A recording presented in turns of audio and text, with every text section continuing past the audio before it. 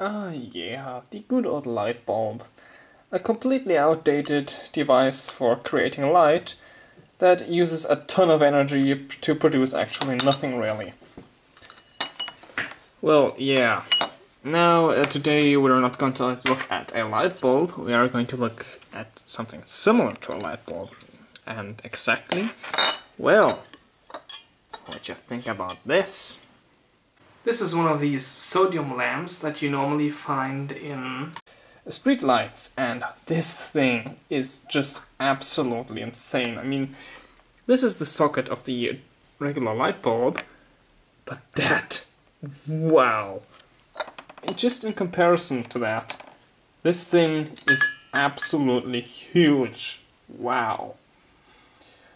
So, but um, there's one downside. You can't just screw this lamp right into a socket and uh, be like, okay, that's gonna do it. No, you're going to need something completely different to actually get this thing to do something. And what is that, you may ask? You want to know what it takes to switch on that big lamp? That. This huge thing is necessary to power that uh, lamp. Okay then, so well, what exactly is this huge heavy white box with those things that are attached to it on the side? Well, the reason why you can't just take this uh, sodium lamp and plug it right into the power outlet, I'm not sure what will happen, but I'm just gonna assume nothing will happen. Because uh, this needs some sort of ignition circuitry, which this huge box basically is. Yeah. That white thing here, uh, I suppose, is a capacitor. And uh, yeah. Although um, I should consider uh, maybe swapping that out sometime in the future because it's uh, has some cracks in the plastic. Nope, that was not because it smashed the light bulb. So yeah, maybe just because the previous owner didn't store this properly, or uh, whatever. So um, I'm still pretty new to these lamps. Uh, just got myself one of these because they are pretty interesting, and this thing, well, it's just so huge. You just don't don't see anything like that as a regular person. If we're going to have a, a more specific look at this, this is made by Latron and uh, here are is its model number and for sodium lamps it can go up to 400 watts and even if, if that is halogen I don't know. Uh, it's some other language not oh maybe it's Spanish? Yeah it's Spanish.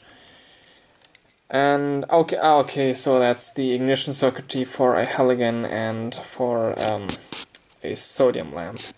Because, well, as you can see, um, you have to wire it up differently. Currently, I believe it's uh, wired up correctly to um, the sodium lamp. And then, well, just your regular power outlet uh, was bunched in here. Not really done a very nice job, that guy. Uh, that doesn't look too good. Maybe I'll screw a uh, different one in. And uh, then, of course, well, the uh, two connectors that go to the lamp socket, which um, I currently don't have.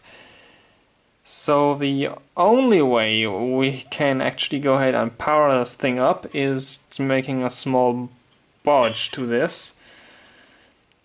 And uh, yeah, uh, just to solder a cable here on the back and maybe even solder one in the front but I'm a little bit scared that the high temperature of the soldering iron would uh, crack the glass, so I'll just wrap a cable around this. And yeah. Okay, so well, uh, one thing that is important uh, is, well, let's have a look at here. This is where the lamp connects to, and there's a center and, uh, yeah, the outer housing uh, connector and you have to really have to wire it up that way around otherwise um, I believe it doesn't work I'm not quite sure about that but yeah Also, I'm not quite sure how these things are really called. There's an ignition circuitry, a capacitor, and whatever this is. Maybe it's even another capacitor, but three leads? Not quite sure. Hmm. Yeah, so I'll just go ahead and do a small bodgy um, hookup to this thing. I'm just going to take a regular cable, wrap that around here, tighten it up, and plug that in the correct connector, which is this one, and just solder another cable into the center plug. I'm not gonna solder anything on here. And just for those who are curious, this is made by Radium, and it's a 400 watt super. Yeah. So let's just have a close-up look at it. And uh, that noise you're hearing is this metal uh, plate here uh, always knocking against uh, the glass and in here is our filament so that's probably I presume where the sodium is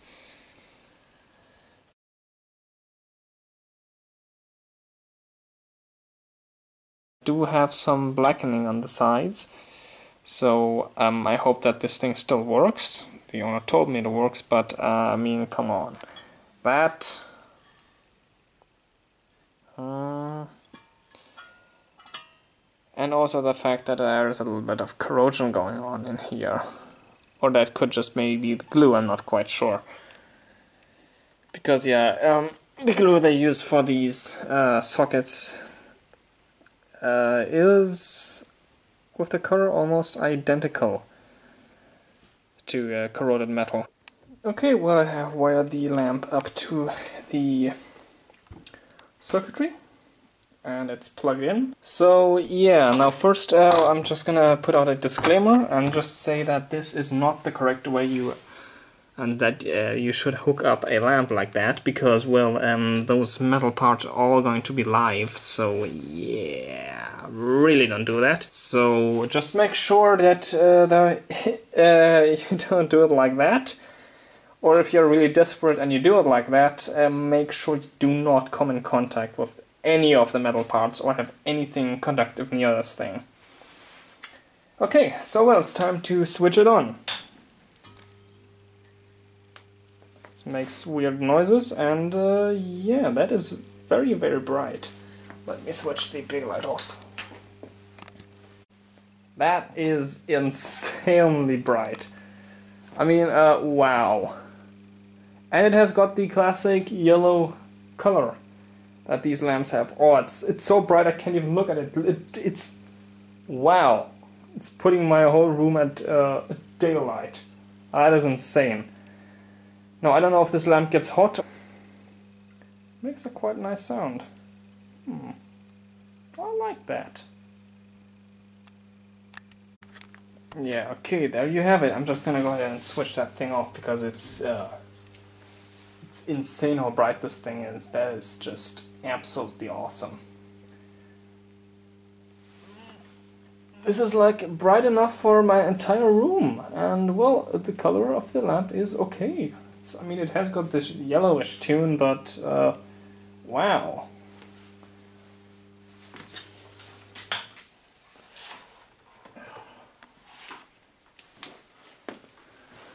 Huh. Are there supposed to be little dots like that? yeah, that thing gets hot.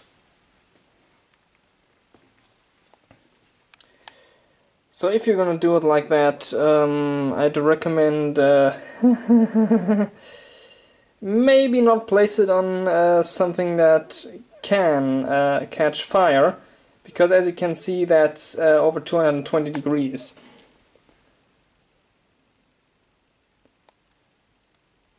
The circuitry doesn't get warm, no. But that thing, wow.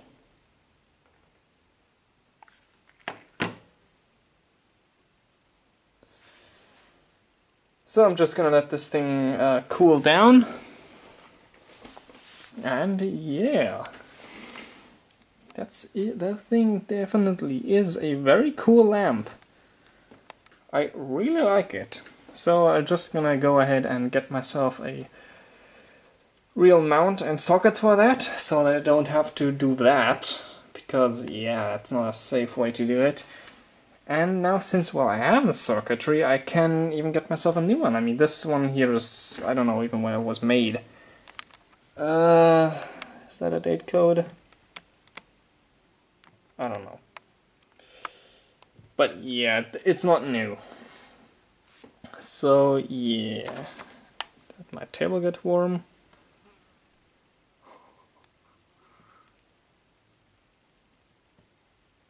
But it does cool down quite fast. So yeah, it's just insane how bright this thing is.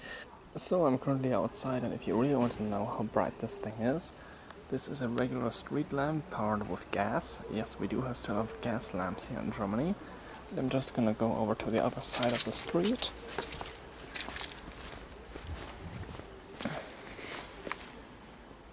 And that is my balcony. So just so you know that's 400 watts of a sodium lamp out of my window. That is insane. Again, that is my balcony. Look at the tree. And also look at the house of the neighbors. Let's hope I don't piss them off. To know what it takes to switch on that big lamp? Hold on.